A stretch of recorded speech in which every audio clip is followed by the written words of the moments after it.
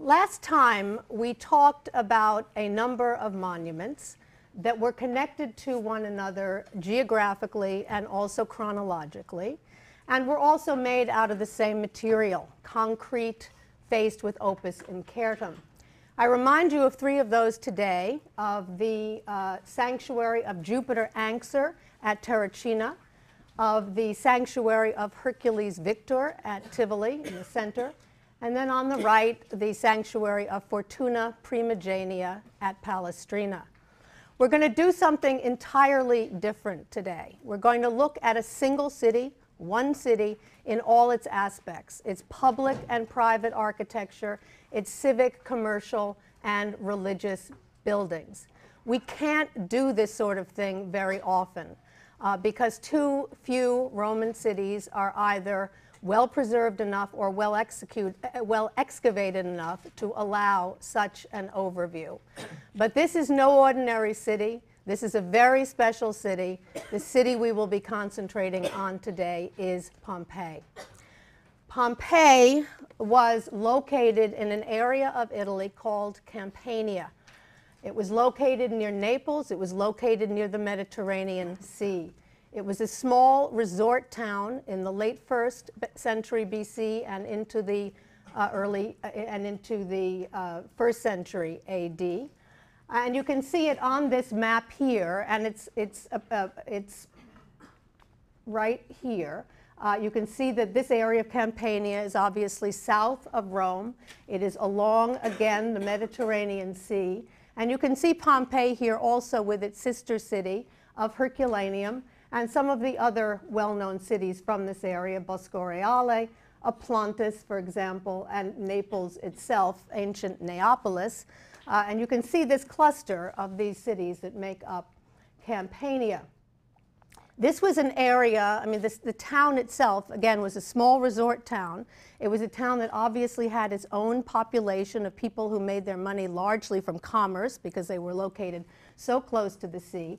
But it was also a spot that was highly favored by the glitterati of Rome, who used to come down to this area of Rome, not only to, to go to Pompeii itself, but to establish villas, to build villas in the vicinity of Pompeii. And we have imperial villas at places like Oplontis and at a place called Bosco Trecase that is located here as well. Uh, and along what is now the Amalfi coast and on the island of Capri. Uh, so this was a town, again, that was, was noticed and was visited even by the most elite in the city of Rome, in, in, in Rome itself, in the city, in the center, in the capital city of Rome itself. But what's very important for us from the outset is to recognize that although Pompeii, as we know it today, was essentially a Roman city, it had a history that was much longer than that, that went back much further than that.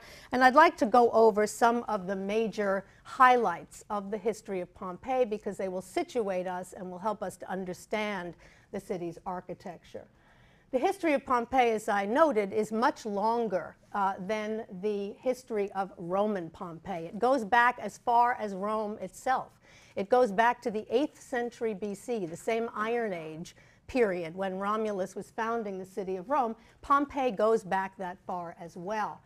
It was first overseen by an Italic tribe called the Oscans, but the Oscans were soon taken over by an even more powerful tribe called the Samnites. And the Samnites are, in fact, extremely important for the city of Pompeii and for the architecture that we'll review today. The Samnite period in Pompeii lasted from the 4th through the 3rd and even into the 2nd centuries BC, uh, up to 80 BC, because it was in uh, 89 that Pompeii fell to Rome. We've talked about Rome colonizing uh, this particular part of Italy, not only the area right around it, but the area south of it, uh, and Pompeii fell to Rome uh, in an important military campaign in 89 BC, and in 80 BC, Sulla made Pompeii a Roman colony.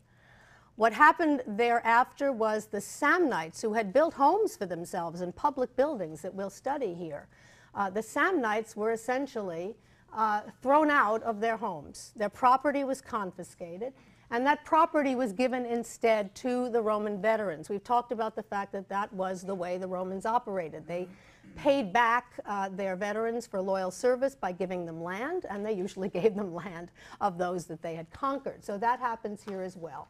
Samnite property confiscated, and the Roman veterans settle in their homes and begin to redo them, settle into using their public buildings, but begin to remake them in the Roman image. The next century and a half saw the construction of Pompeii's most famous buildings. But we should not forget, and we'll concentrate in part on that today, that some of these buildings had their genesis under the Samnites. During this period, there was a very high civilization in Pompeii. Uh, there was trade with Greek cities and especially with the Greek city of Neapolis, Neapolis being the ancient name for Naples, for Naples. The next very important year in the history of Pompeii was the year AD 62, when the city was literally, the city of Pompeii was literally shaken to its foundations by a very significant earthquake a very significant earthquake indeed.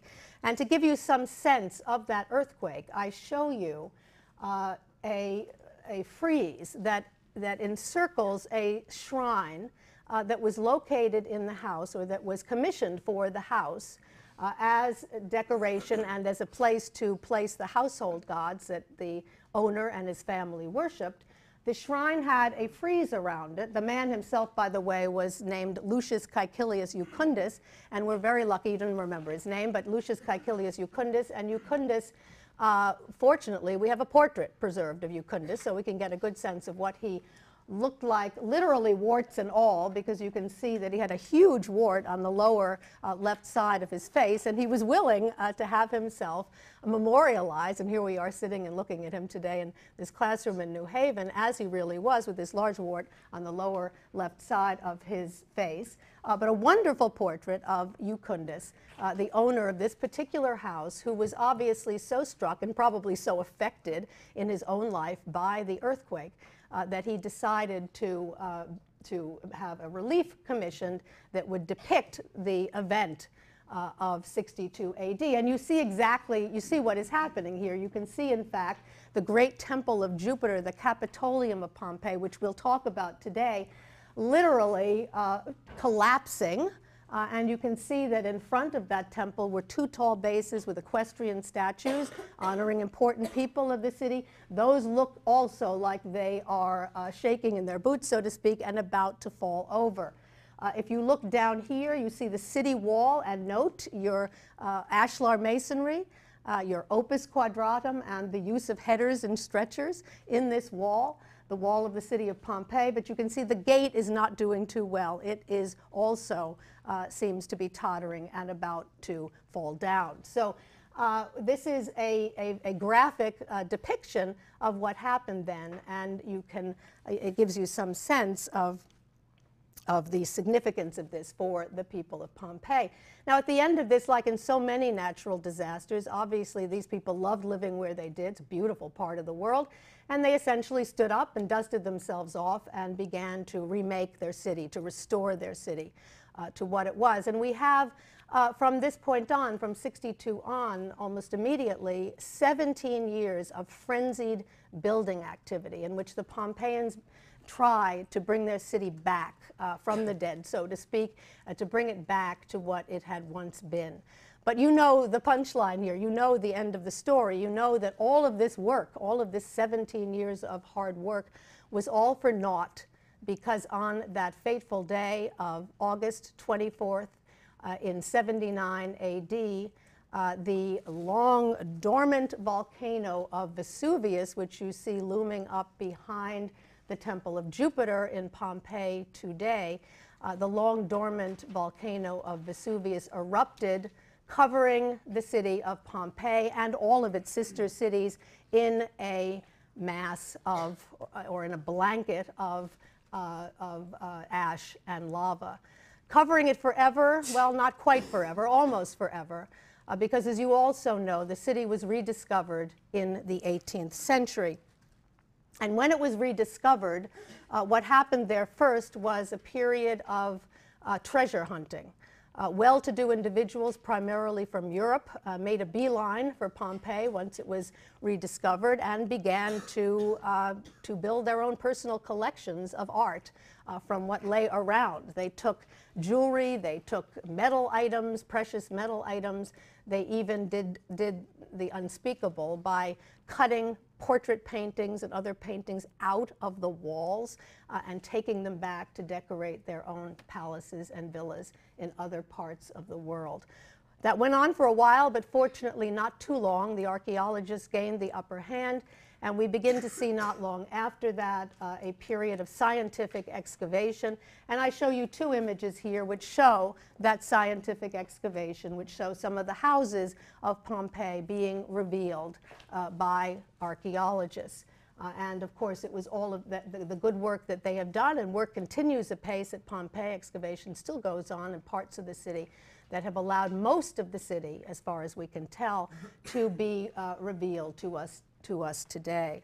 Now, this tragedy that befell Pompeii in, in August of 79 was indeed a tragedy for them, for the people who lived there, obviously. It was also a tragedy for the reigning emperor, a man by the name of Titus, T-I-T-U-S, who who's the uh, honored in the famous Arch of Titus in Rome. We'll talk about him and his architecture in Rome later in the semester. Uh, but it was a disaster for him, and he had to contend with a plague and a fire in Rome also at the same time. Uh, it was very difficult for him, and poor man, even though he was quite young, died of natural causes after only three years in office. And I think it was in part this, this, this catastrophe that had happened uh, in the Bay of Naples area uh, that led in part um, to his, to the stress of it led in part to his demise. So this was a great tragedy for him, a great tragedy for the people of Pompeii, a great tragedy for Rome, but it, it, it was a stroke of good luck for archaeologists and in a sense for us as well. Uh, because of course what happened to, to Pompeii is something very different than what, than what happened to Rome. What happened to Pompeii is that it was, its life was snuffed out all at once. It came to an end all at once. Compare this to Rome, which has been inhabited over millennia.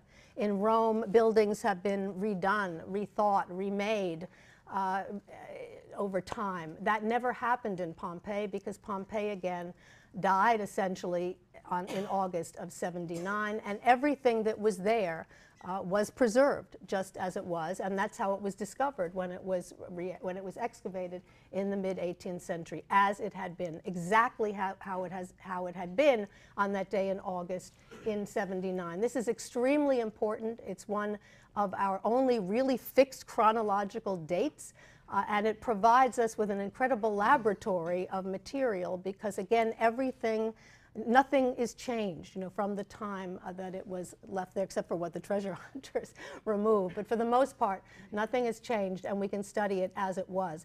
The other thing that you must remember from the outset, that although what was revealed by excavators uh, in the 18th century, 19th century, and beyond even today, uh, was not just the, I mean, it was the Pompeii of, of August 79, but the buildings that stood there were not just the buildings that had been renovated between the earthquake of 62 and the eruption of Vesuvius of 79, but some of the very earliest buildings, including the Samnite structures, uh, still stood. And so when we look back, we will be able to trace, in a sense, uh, the city of Pompeii and its architecture from the time of the Samnites up until the time of the Emperor Titus.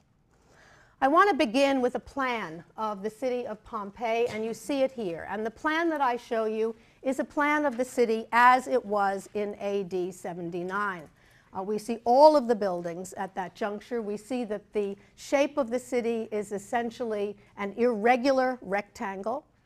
Uh, and we also can see very well that the city is surrounded by a wall, a protective wall, as were, so it was walled like all the other cities that we've talked about thus far this term. Uh, you can see some of the major buildings very clearly. The amphitheater that we'll talk about today, the theater and the music hall over here. You can see the streets of the city, uh, the Cardo or North-South Street and the Decumanus or East West Street of the city, as well as the re- fairly regular blocks where the houses and the shops were located. What is important to note, however, is that the Samnite city was obviously much smaller than the city of 79. And to recapture a sense of the Samnite city, we have to look at the bottom left side of this plan, where we see the original Samnite city, which seems to have been roughly a fairly regular square. And in that Samnite city, uh, the Romans, and they followed Roman surveying uh, method, methodology here, uh, they, they looked to what was exactly the center of the city and they placed the Cardo, uh, the north-south street, and the Decumanus, the east-west street, at that exact midpoint of the city and then they located, as they like to do, the forum of the city, the great meeting and marketplace, right at the intersection of the Cardo and of the Decumanus. And that is exactly where we see the forum that was begun in the Samnite period, right at the intersection of those two original streets. Then over time, obviously, as they expanded the city, the Cardo, the Cardo grew and the Decumanus grew, and it didn't end up exactly at the center of the larger city but it was at the center of the original city. The, let's begin, in fact, with the Forum, because the Forum was begun itself during the time of the Samnites. You'll see from your monument list that I've given you a date of the second half of the second century BC uh, for the Forum at Pompeii. And again, that indicates to us, because of the chronology of the city, of the history of the city, that it was begun in Samnite times. Uh, you see here on the screen a, an excellent plan of the forum as it was and as it grew over time, as buildings were added over time. This plan is from the text, one of your textbooks from Ward Perkins, and I think it, uh, it, it, it, deserves uh, you know, careful study. Uh, well, let's describe it together today. We see that the central part of the forum, which was again the, essentially the main meeting and marketplace of the forum, is a, a, a very elongated rectangle with the temple, a Capitolian, a Capitolium, a temple to Jupiter, located on one of the short ends. And you should be immediately, your mind's eye should go immediately to the, uh, the sanctuary designs that we saw last time. Think, for example, of the sanctuary of Hercules Victor at Tivoli, uh, where we saw that the temple was pushed up against one of the back walls, in that case the long wall, and dominated the space in front of it. We see the same kind of scheme here, where we see this uh, rectangular space with the temple pushed up, in this case on one of the short walls, pushed up against the back wall, and then dominating the space in front of it. The forum itself is surrounded by a columns, a colonnade, as you can see here, and, uh, and it is open to the sky, open to the sky. Then uh, deployed around it all the other important buildings that needed to be in a forum, the Curia or Senate House over here, the Basilica or Law Court over here, another temple, in this case the Temple of Apollo, and then a series of buildings that were added later on the right side. A wonderful building of a woman that we're not going to be talking about this semester called Eumachia, uh, who, and it gives you some sense that women could wield power.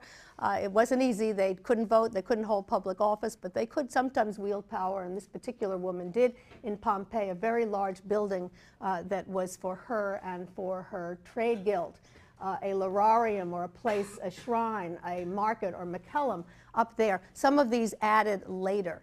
Uh, and, but the ones that are particularly critical to our understanding of the Samnite city are the Capitolium and are the Basilica, which both date to the second century BC.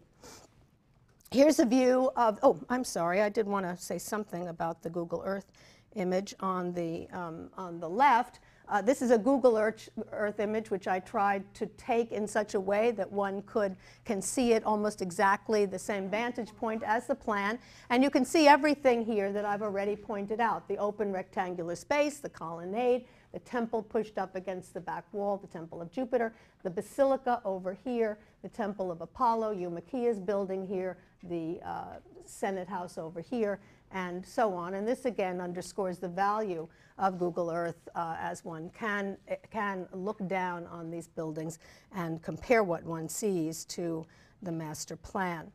This is a view of the colonnade. Uh, it's a two-story colonnade at the Forum of Pompeii, and you can see the same thing that we saw happening in the Theater of Marcellus in Rome, that the columns that they have used, they have looked at the Greek, the Greek orders, the Doric, Ionic, and Corinthian, and they have selected here to use the Doric for the first story and the uh, Ionic for the second story. This colonnade does not date to the Samnite period. We believe uh, that it was put up later, uh, but it, uh, it's made out of white limestone, uh, and it probably, again, does belong to a, uh, a, renovation of the Forum of a somewhat later date. Look also uh, near the columns, and you will see a series of bases, a large base over here, a smaller base over here. You see a lot of these still in the forum today. And what these bases were for, of course, were to support statues. Statues, and then there would have been inscription on the base identifying who that was. Sometimes they were statues of the reigning dynast in Rome, the age of Augustus, it might be Augustus or his wife Livia.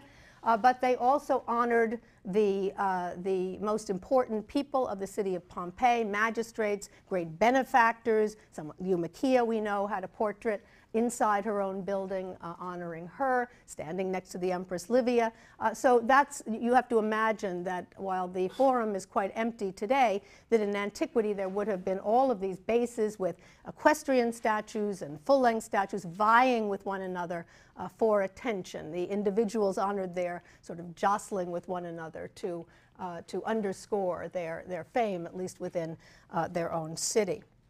This is a view of the Temple of Jupiter, or the Capitolium, in the Forum of Pompeii, an extremely important building. Uh, and one that you can see from the monument li list also began, uh, what began to be put up quite early, in 150 BC.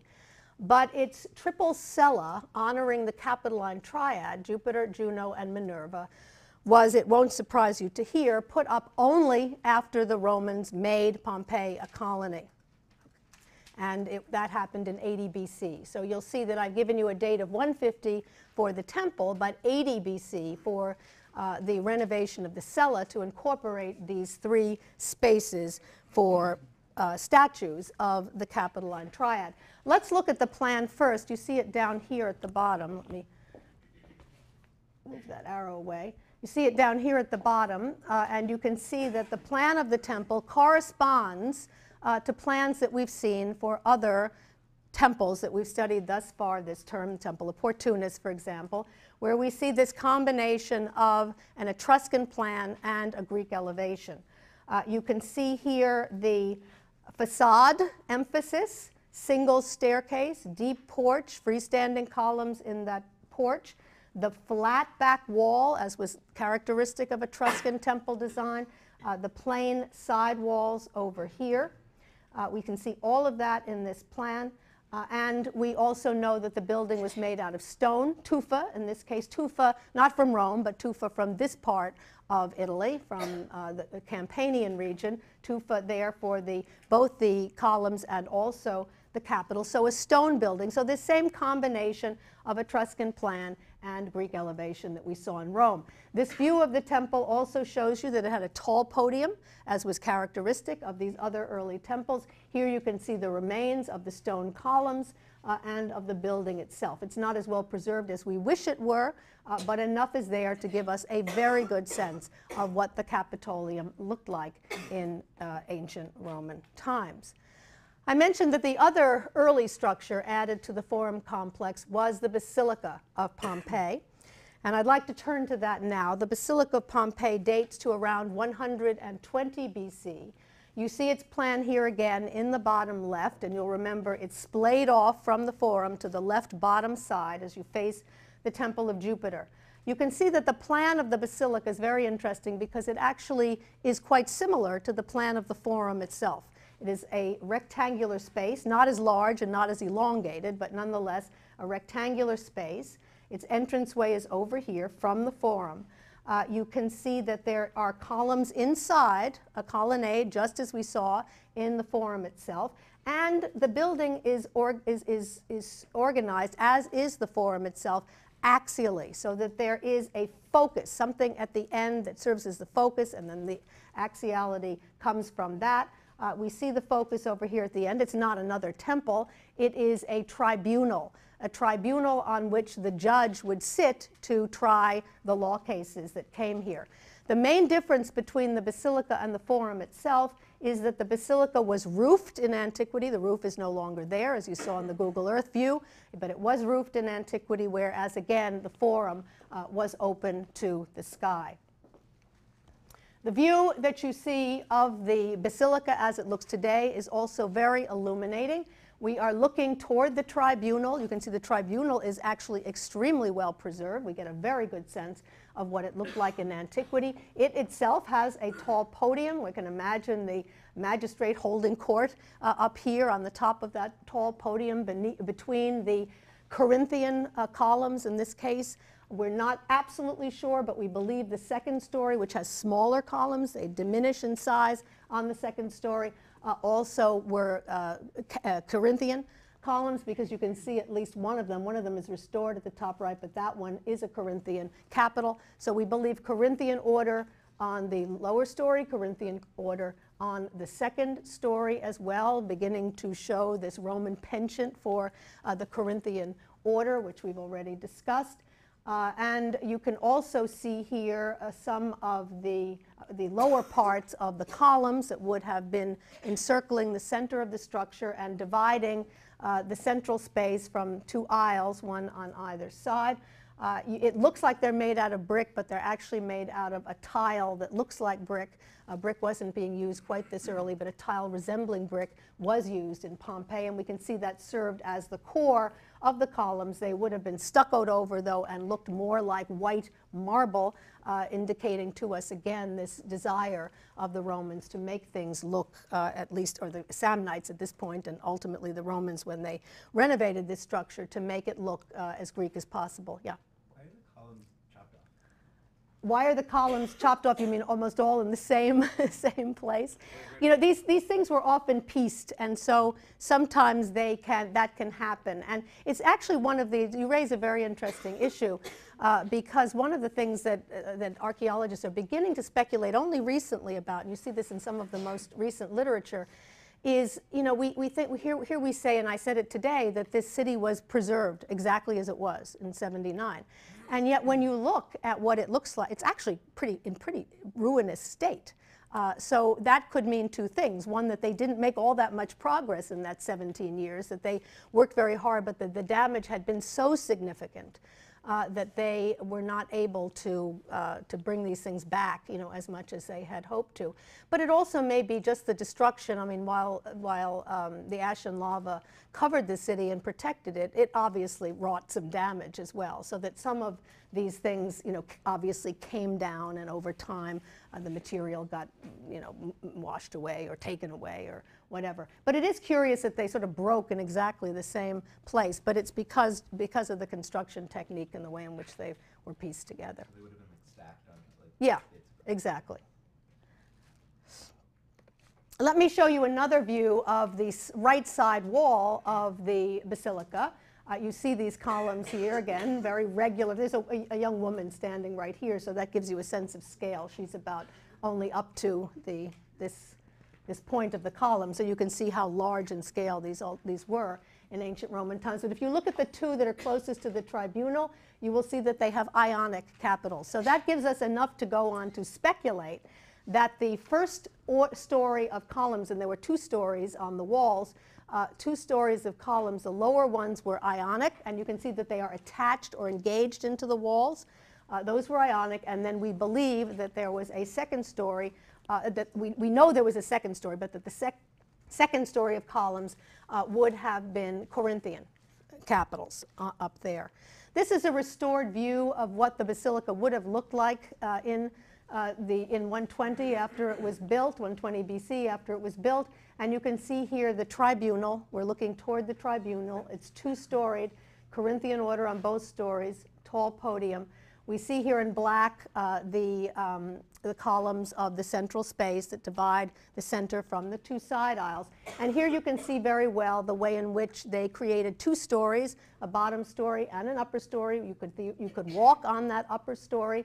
Uh, and using the Ionic capitals in the first story and smaller Corinthian columns in the second story. And it's important for me to note, in terms of the development, the later development of Basilican architecture, that this basilica in Pompeii of this early date did not have what's called a clerestory. C L E R E S T O R Y. C L E R E S T O R Y. A clerestory.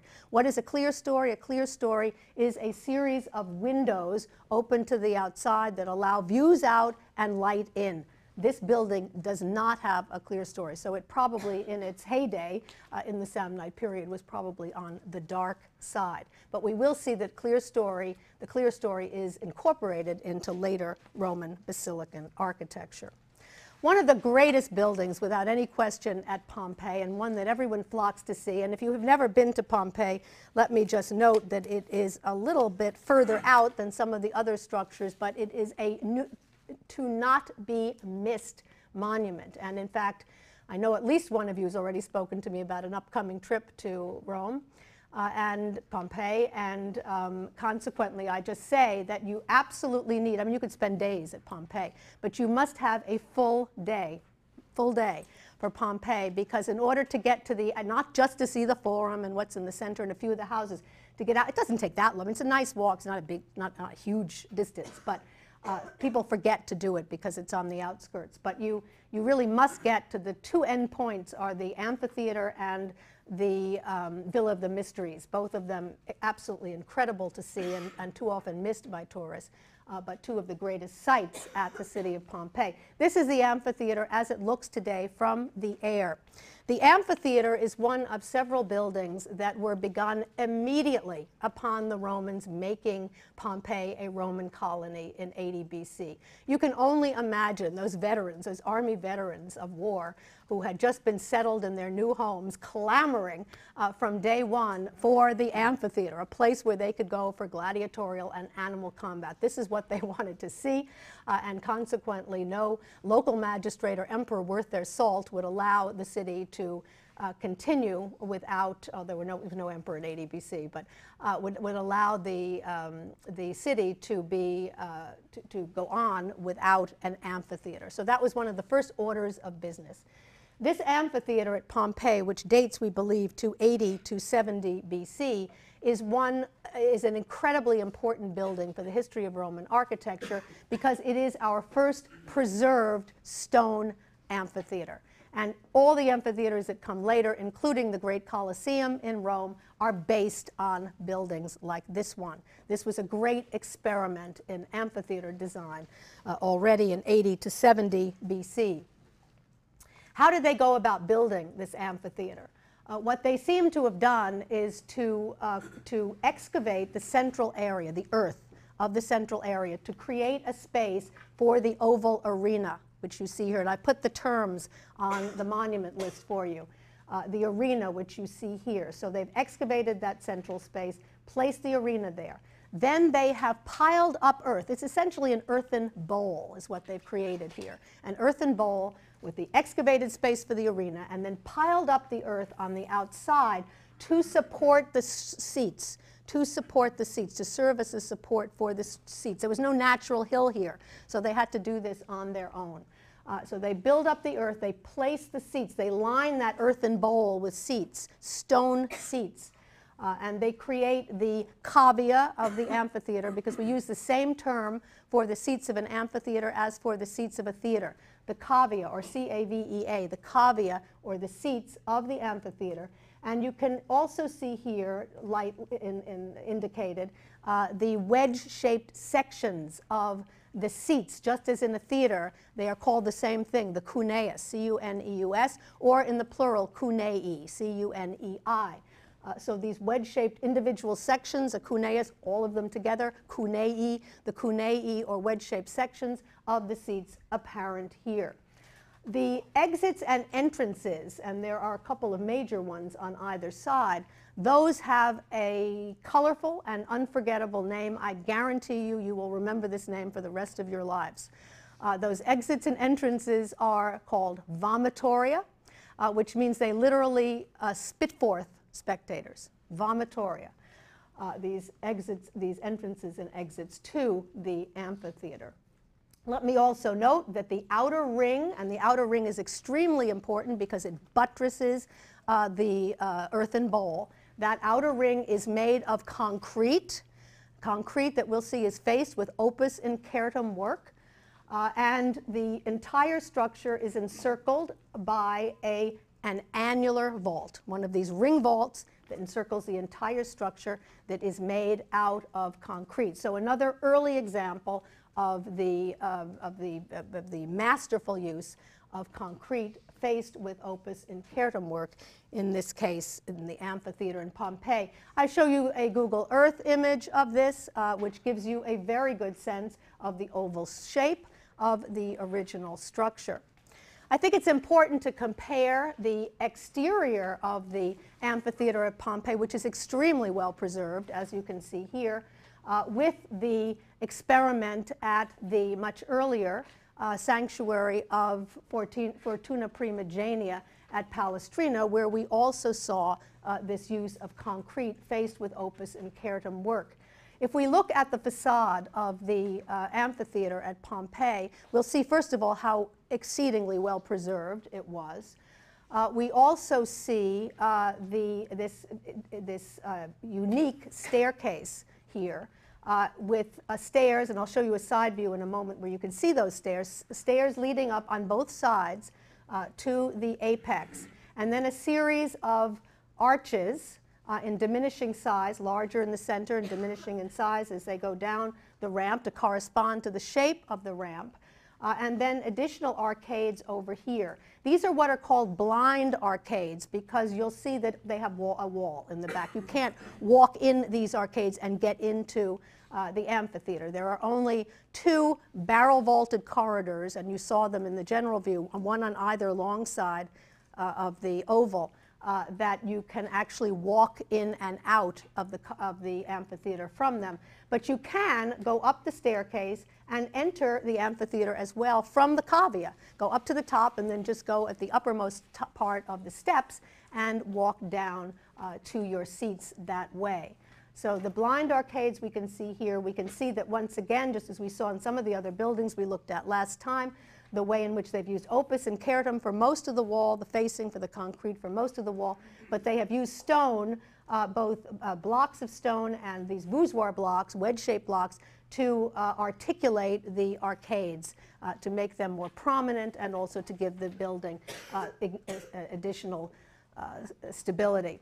What's interesting here, and one of the reasons I also bring back the sanctuary of Fortuna Primigenia, is the fact that the Romans, again, are giving you some options in terms of how you get into this building. You can get in through the barrel vaulted corridors, uh, or, uh, or, or you can climb up this distinctive staircase. And by the way, we have no other, this is, truly is a unique staircase. We have no other one like it in the history of Roman architecture. So you, you have those options, but again, they are still predetermining the way in which you go. I mean, they give you a few options, but uh, within that scheme, it is clearly a predetermined path uh, up, up the staircase over here and then through only those two barrel vaulted uh, corridors. And we talked about that at the Fortuna Primigenia Sanctuary, uh, up the ramps and then up the staircase in the center, a very similar way of thinking about getting people from one place to another in an orderly way. The staircase is so distinctive uh, that, and here I show you a, a, side view of it where you can actually see the steps leading up and if you know if you go visit there, you should try both options. I mean, go down the corridor, but also it's a lot of fun to go up the steps and into the cavea. Uh, but it's so distinctive and, and never to be repeated uh, that when we look, there's a painting that survives from a Pompeian house. We'll look at it in more detail later in the semester, but I wanted to just show it to you now uh, because it is so apparent that it is a representation uh, of the amphitheater at Pompeii, which is not surprising since this is a house in Pompeii. But you see that distinctive staircase here with the steps, uh, the way in which you can enter into the cavea. You get a sense of the cavea and the kind of goings on that one that, that happened in uh, this Pompeii amphitheater. Uh, but you can also see, this is a very important detail that, uh, that is, and this is the only place where we actually have a representation of it. You can see that at the uppermost part of the cavea, there is an awning called a velarium, and I put that word on the monument list for you. An awning that was supported by poles that were located on brackets at the uppermost part of the amphitheater. And that awning, the purpose of that awning, the Pompeians seemed to have a thing for protecting, the Romans in general, for protecting people in inclement weather. Uh, so they put these awnings up when it rained. Uh, they put these awnings up to protect uh, those who were there to see a gladiatorial combat, to protect them uh, from that rain. One last view of the amphitheater of Pompeii. We are looking at it at its, its bowl-shaped arena, as you can see here, and the seats that do survive uh, to get a sense of the interior. Here you can see very well the two uh, barrel-vaulted entrances and exits, uh, one on either side, and that's the only way. Again, those blind arcades, you can't get in that way, and you can see that very well here. Those are the only entrance or exits uh, into the theater besides the staircase. And in the introductory lecture, I made the point, and I'll just bring it back home again, uh, that the Yale Bowl here in New Haven is based on the amphitheater in Pompeii. There's no question about that. In fact, if one goes back in the literature on the bowl and its original construction, it is even mentioned in original articles that the architects were looking back. I mean, I'm not making this up. The architects were actually looking back at the Pompeii amphitheater as a model. And you can see the relationship. When you look at the bowl from the air, you can see it is a bowl. It's, it's kind of a bowl shape, almost uh, exactly like the shape of the Pompeii amphitheater. This aerial view, by the way, was taken at the time of the 100th game uh, between Yale and Harvard, and you can see the stands were packed. Uh, the major difference between these two amphitheaters uh, is the fact that the one in Pompeii was made to hold 20,000 people. The one in Yale can hold up to as many as 78,000 people. So we have a larger uh, amphitheater, so to speak, here uh, than they did and do in the, theater, in the city of Pompeii. I want to move from the amphitheater to the other great entertainment district of Pompeii, and that was the theater and the music hall, the theater and the music hall. And I want to show those two fairly quickly. Uh, we see them here in plan, the theater in red and the uh, music hall here in a kind of, I don't know, chartreuse. Uh, as you can see, it dates to uh, 80 to 70 BC. So another example of a building that was added when the Romans uh, gained ascendance of this part of the world. Uh, and uh, a couple of terms again, we can see if we look at the theater, uh, we can see the, uh, the fact that the theater is semicircular in shape, or the cavea is semicircular in shape. We can see the wedge-shaped cunei up there. Uh, we can also see that the orchestra is semicircular in shape, not round, and that there's a scena, S-C-E-N-A, or a scaenae frons, as I called it last time, a stage building at the front there is also a space over here which we call the porticus. And again, I put that on the monument list for you, the porticus. What was the porticus? The porticus was an open rectangular space with covered colonnades on either side. The purpose of the porticus was to have a place where people could go during intermission uh, to, uh, to stretch their legs uh, during the intermission of the comedy or tragedy that they were there to see. Uh, and there were little shops along the way, uh, little spaces along the way. Some of them served as shops for playbills and uh, other souvenirs uh, from the evening's experience, uh, but also that served as spaces where props and uh, you know, scenery and, and costumes and all sorts of things that were needed in the theatri theatrical performances could be kept. So that's the porticus. Then over here we see the music hall. It's a smaller version of the theater, but it's designed in exactly the same way with a semicircular orchestra, the semicircular cavea, the division into cunei, as you can see here, a small and le much less elaborate scena in the front. The major difference between the two, and we see this not just in Pompeii but throughout Roman architecture, is not just the scale, that the theater is always much bigger than the music hall, but that the theater was open to the sky and the music hall was had a roof. Uh, and that roof, uh, that roof, the reason for the roof in the smaller music hall and the reason for the smaller size was to be to make the acoustics as good as they could possibly be, and that was easier to do in a roof building and in a building of smaller scale. A Google Earth view of the theater and music hall as they look today, and you can see they're quite well preserved. You can see the exact shapes that we looked at in plan over, over there. Here's our porticus, for example, and you get a sense of how pleasant that might be able to be uh, during intermission time. Uh, what this view also gives you a sense of, however, is the way in which these two buildings are embedded in the rest of the city, that they, are, they do make up an entertainment district, but at the same time they are very close to the city streets uh, that have uh, on, along them houses and shops and so on and so forth. So very closely embedded into the life, into the commercial life and the residential life of the city, even though this was intended, again, as a great entertainment area for those who live there. And I made this point before, but I'll make it quickly again, that while Roman theaters like the theater at Pompeii are based on Greek prototypes, there are some differences. Uh, they, the two theaters, this is the Greek theater at Epidaurus of the mid-4th century BC, they both have the stone seats, they both have, which is called the cavea, they both have these wedge-shaped sections of seats, they both have a stage building, although the Greek one is much simpler. Uh, and uh, they also, the, but the major differences between the two is that the Greek theater has a circular orchestra, whereas the Roman theater has a, and this is the theater of Pompeii, has a semicircular orchestra. Uh, and the other major difference, the most significant one, is the Greeks built their theaters on hillsides, as you can see at Epidaurus. The Romans built their theaters, and this is the case in Pompeii, on a hill made out of concrete. I want to turn to an extremely important building and one that I am going to uh, come back to on a number of occasions during this semester. So put an asterisk next to this one as a, a particularly important building and one that uh, it's almost certain I'll find some way of incorporating into the uh, midter first midterm uh, because I think it's so significant uh, and it will, it will turn up again and again and again in the course of the term, especially when we talk about later bath architecture. It is the Stabian Baths of Pompeii. It dates to the second half of the second century uh, BC and it was remodeled in the first half of the first century BC. The Stabian Baths are one of several bath buildings at Pompeii. I mentioned in the introductory lecture that uh, the, these houses in Pompeii did not have running water, and so access to bathing and to water for daily use was obviously critical. Uh, and the baths served that purpose, the place where one could go and bathe. But they were also, they also became great social centers, great places where you really wanted to go and hang out with your friends uh, while you were sitting in the sauna. And, uh, and so they take on a very, they are a very important piece of life in cities like Pompeii. The Stabian baths, as their date indicate, are very early. They're begun already under the Samnites, and they have some extremely interesting features.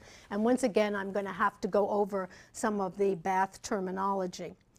You can see here that if you walk along the street, you just see a series of cubicles which served as shops, so you know, fairly unprepossessing.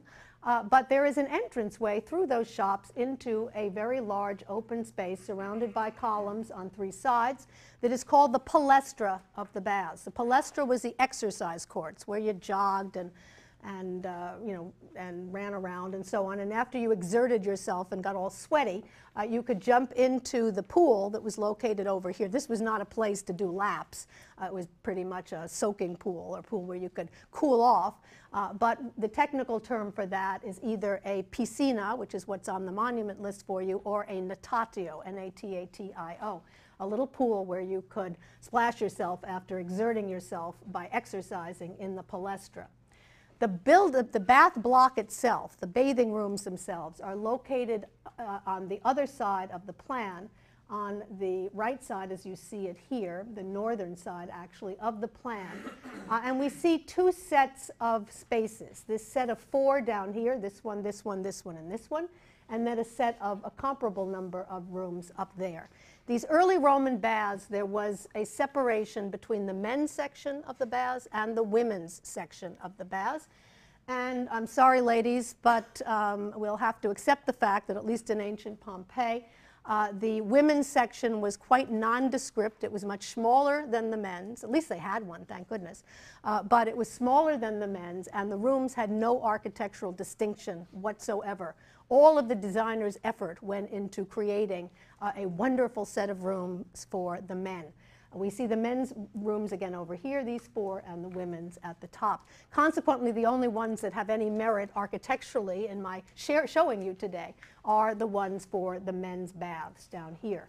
Uh, the four rooms, the four key rooms to both the men's and women's sections were the apodyterium, and again, these words are on the monument list for you, the apodyterium, which was the dressing room. It's a fairly, again, it's large, but a fairly nondescript rectangular room here. You can see it right down here. And the way it was designed uh, was that you went in, and there were no lockers, no private lockers, but uh, there were benches where you could, when you got undressed, you could just take your clothes and put them in a little pile on that bench. Uh, you had to just take on faith that no one was going to steal any of your belongings. And if you were very well to do, uh, some of the very well to do Romans, men and women, brought slaves with them, their slave, their private slave, to watch their stuff uh, while they were in the sauna with their friends. From the apodyterium, you go into the so-called tepidarium of the baths, also usually a plain rectangular room, even in the men's section, which served as the warm room, where you started to warm yourself up. You went from the tepidarium into the caldarium of the bath, which was the uh, hot room, uh, the, where you really, where you re- was the sauna, essentially, of the bath. And consequently, there was a, um, a basin over here with cold water. So if you got too hot, you could go and splash yourself uh, with that cold water. So apodyterium, tepidarium, caldarium. By then you're really heated up and you can make your way back into this room over here, which is called the frigidarium or the cold room. The frigidarium was a place that you could really cool off.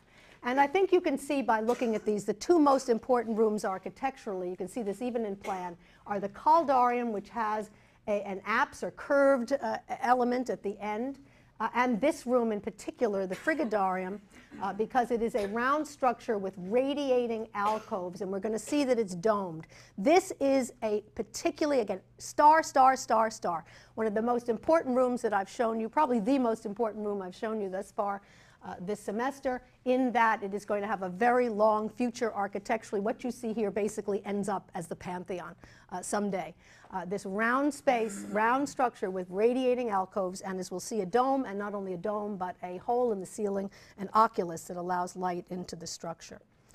Uh, how were these baths uh, heated? How were the hot rooms heated? Through a system called a hypocaust. Again, I put the, the word on the monument list for you. A hypocaust, H-Y-P, H-Y-P-O-C-A-U-S-T. What was a hypocaust system? A hypocaust system was a system by which they put terracotta uh, uh, terracotta um, tubes in the floor and behind the walls. Uh, they blew hot air into those, and they also raised up the pavement of the floor on a series of stacked tiles, and you can see that extremely well. Here's a very well preserved hypocaust from the Stabian baths. Place these tiles on stack, stacks of tiles, leaving space in between them, and put braziers uh, between those tin, tin, you know, metal braziers, uh, metal bowls that held hot coals and so on. And that, from those hot coals, obviously it's slaves who had to you know, keep those, those coals hot, but coals that were um, placed uh, in these um, pans that, uh, that uh, helped also to heat the pavement that was located above. The, this very important room, the frigidarium of the Stabian Baths, you see it here as it looks today, a small round space. Uh, it has a, it would, would have had a pool in the center, a round pool, radiating alcoves, uh, a dome, a dome that is open to the sky with an oculus that allows light into it. You can see the remains of paint, stucco, and then paint, blue and red paint, probably some kind of marine scene uh, included here. But this, I can't under, underscore enough the importance of this particular room and the future that this design has for Roman architecture. I'd like to show you um, another bath at Pompeii, the so-called forum baths. The forum baths are interesting because they're later. They date to, as you can see from your monument list, to 80 BC. So this is what the Romans did when they came in and took over Pompeii and were making it into one of those mini Romes, those cities in the, in the, in the um, in the model of Rome. And you can see it is very, very similar uh, to what was going on in the Stabian baths in the earlier Samnite baths uh, with the same palestra. We see a palestra up at two the exercise court. We don't seem to have a natatio in this particular plan. Uh, we see the men's section over here at 3, 4, 5, and 6, and the women's section over here, 7, 8, 9, 10. Again, the women's section off to the side of no arch- architectural distinction whatsoever. Uh, the men's over here, and you could enter the men's either through the palestra or from an opening over here at 1. We see the same set of rooms that we saw at the Stabian Baths. We see the apodyterium or dressing, undressing and dressing room over here at 3 the tepidarium at 5, the caldarium at 6, and the caldarium at 6 is of the same shape as the caldarium in the Stabian Baths, a rectangular room with an apse at the end and a, um, a basin for cold water splashes. And then you go back again to the frigidarium, and you can see the frigidarium in the baths, uh, forum baths at Pompeii, the same shape as that in the Stabian baths at Pompeii, a round, a small round room with radiating alcoves. I can show you views both of the um, tepidarium of the forum baths, extremely well preserved, as you can see here. You can also see they've used a great barrel vault uh, for this room. It isn't as large as it looks here, but it's a sizable room. Uh, and this is a very good uh, place to show you, by the way, to give you a sense of how these things were decorated, how so many rooms, to, Roman rooms today, Roman buildings today, are stripped of their original decoration. Uh, but that decoration was often quite beautiful and ostentatious, and we can see here, a, we can get here a sense of that. You can see the wall has been stuccoed over, and then also in stucco, these great uh, flowering acanthus plants and uh, creatures flying uh, above, animals, human feature, uh, gods and goddesses flying above. Paint was, a, you know, you, they use paint as well, red and blue and white and other colors uh, to accentuate the design. This gives you some sense of the flavor of these. And then this wonderful detail below of these Atlas figures who are shown holding up uh, the vault of this particular room. It gives you some sense of why Romans flocked to these places, not only because they had, it was the only place they could bathe themselves, but also because it was just a wonderful space to be in and to enjoy, again, the company of friends. This is a view of what room? In the forum baths? The caldarium, excellent Neil. The caldarium uh, over here with its uh, rectangular shape and then its apse and its cold water ba basin for cold water splashes.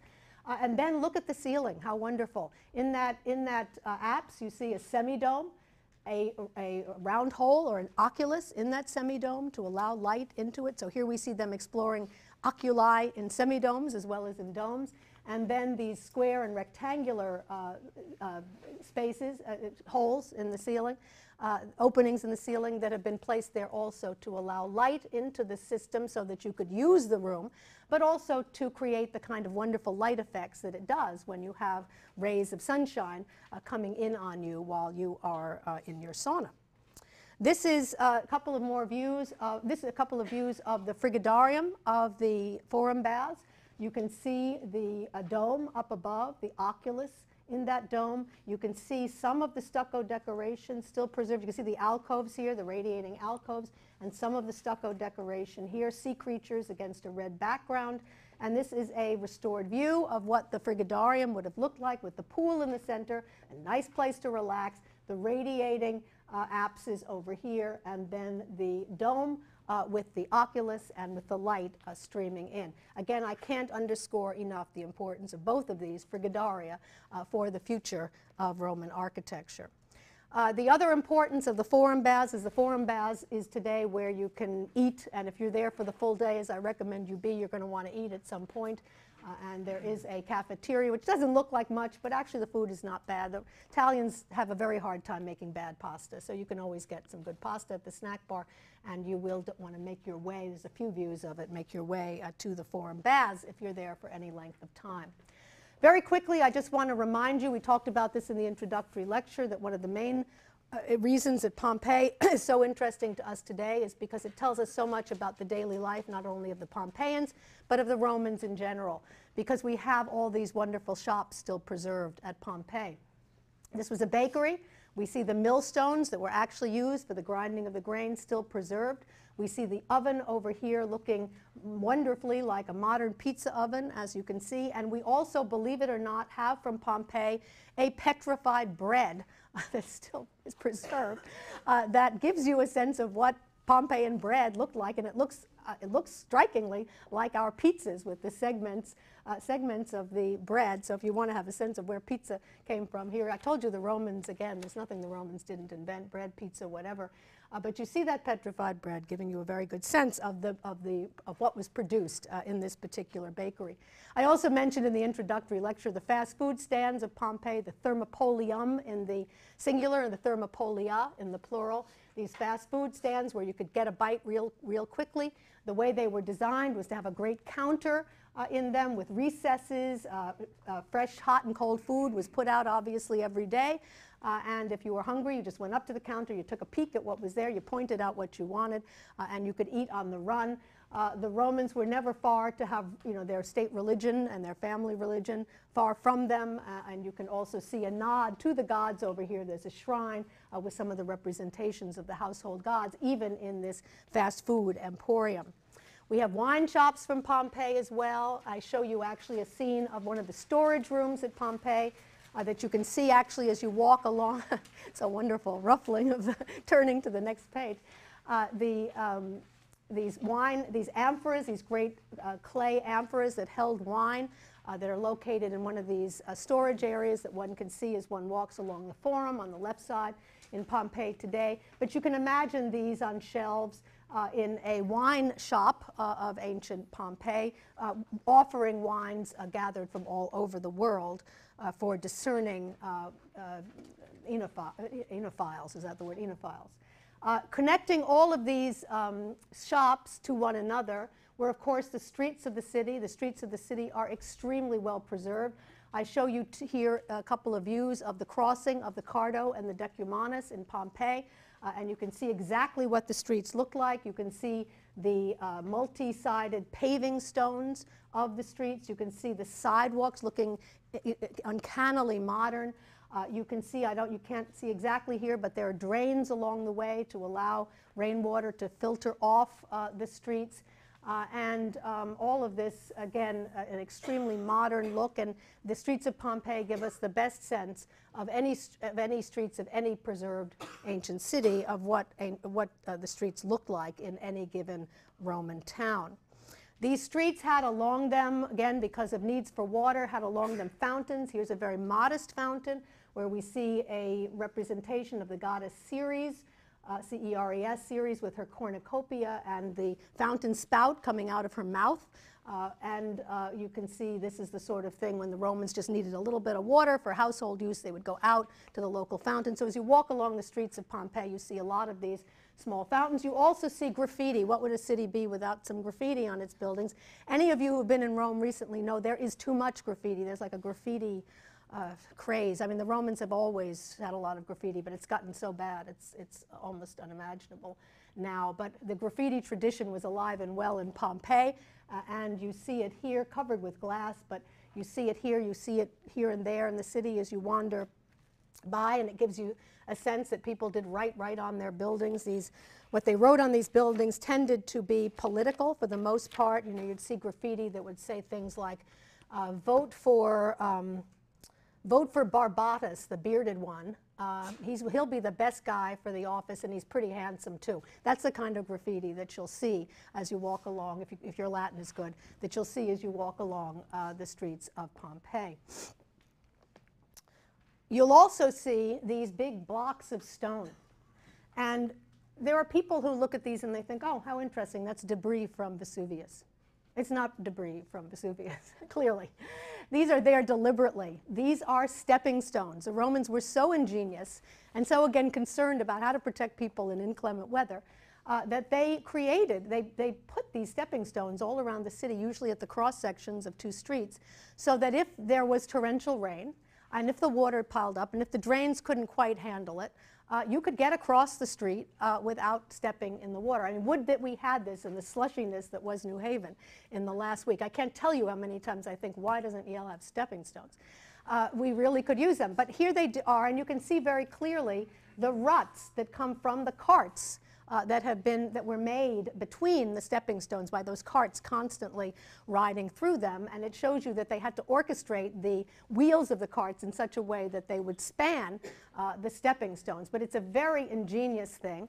They're fun to look at fun to walk on fun really fun to take pictures. I have tons of them. I, I didn't decided not to bring a personal picture this time of me or anyone else in my family on stepping stones or other Yalies. I've got lots of those too uh, I didn't bring those today, but I did bring something I'm really proud of because in all the years I've taught this monument, this city, excuse me, I've always wanted to actually show what it looked like when rain, uh, when, there was, when it had rained. And since I've been to Pompeii so, so many times over the years, uh, but uh, it doesn't tend to rain when I go there. You know, June, July, August, just doesn't rain. So I've never been able to do that. I was there this past June, and lo and behold, I was very upset because who wants to wander around the city of Pompeii in the rain?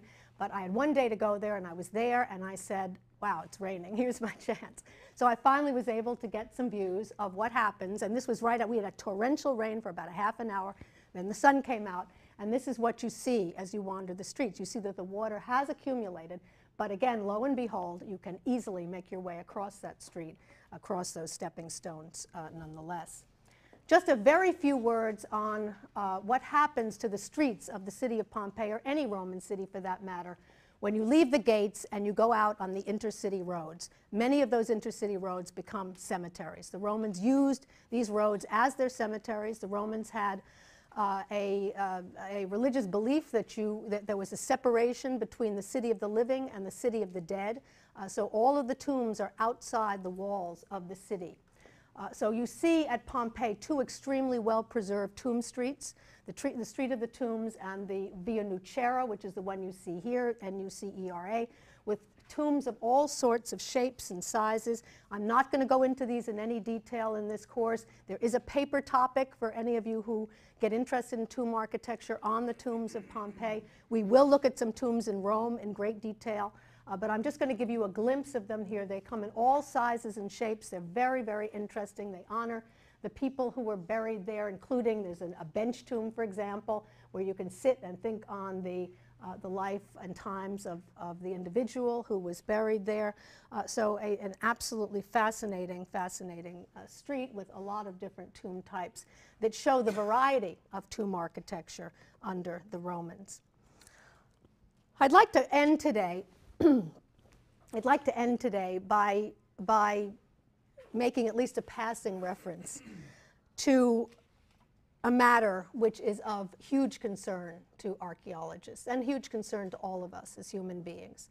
And that is what happened to the people of Pompeii in those very last moments of life.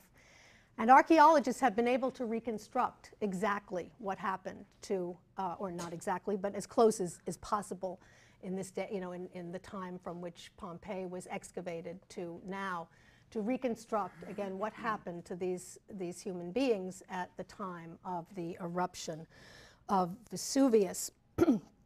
They've been able to again to reconstruct a very moving picture of their last moments of life. What we know is that the uh, ash and lava from Vesuvius, and you see a, a, a restored view here of what that would have been would have looked like. And you can see Vesuvius, uh, and you can see the Forum over here with the Temple of Jupiter and the Temple of Apollo and the throngs of people uh, inside the Forum at this particular juncture as they look up and see what is happening. And on the right-hand side, this is actually a view of Mount St. Helens, which, as you know, erupted in 1980. And the eruption's not so different as you, can, uh, as you gaze upon them and look at them in comparison today. But we know that the, that the eruption of Vesuvius did not happen all at once. It didn't just happen and cover the city. It was gradual. There was actually quite a bit of time. There was time to escape. The, the Pompeians saw what was happening, and those who were smart did escape.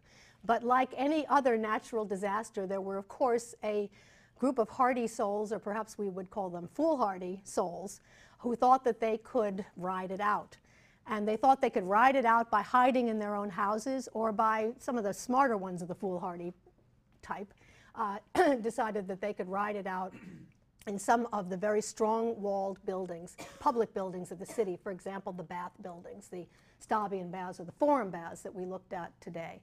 They were gravely mistaken, gravely mistaken. We don't know how many stayed. We think it was actually a fairly small number. Some have said about a thousand. We don't know.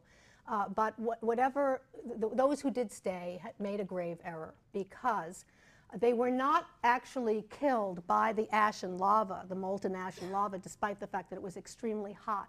But what killed them was the noxious gases that came into the city after the eruption that followed that ash and lava. They were asphyxiated by those gases before, you know, after they had died, but before their bodies decomposed, the ash and lava formed a protective shell around their bodies, uh, protecting them. And what the archaeologists were clever enough to do is when the modern archaeologists, when they were working with their pickaxes, and when that pickaxe hit a hollow in the, uh, in the ash and lava, they poured plaster into that hollow. Sometimes that produced nothing, but sometimes it produced bodies, the actual shape of the bodies of those whose bodies had decomposed there. A- and we can look at those bodies still today. And I show you a scene of a number of the victims of Pompeii huddled together for mutual and indeed ultimately futile protection.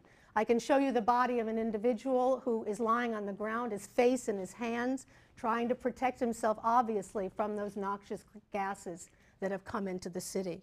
I can show you the, uh, the body of the, the plaster cast, obviously, of the body of another Pompeian who was sitting with his knees up and his hands in front of his face, trying to protect himself once again from those fumes that are about to overtake him any second the body of an individual who's essentially given up at this point. He is expired. He's lying on his back. There's no hope any longer for him. Uh, a, a poor fellow who died on that day. And then this, this fellow, this heroic fellow, who is lifting himself in his last moment of life, lifting himself either to gasp a last breath or perhaps to whisper something to an endeared, to an endeared a family member who is by his side.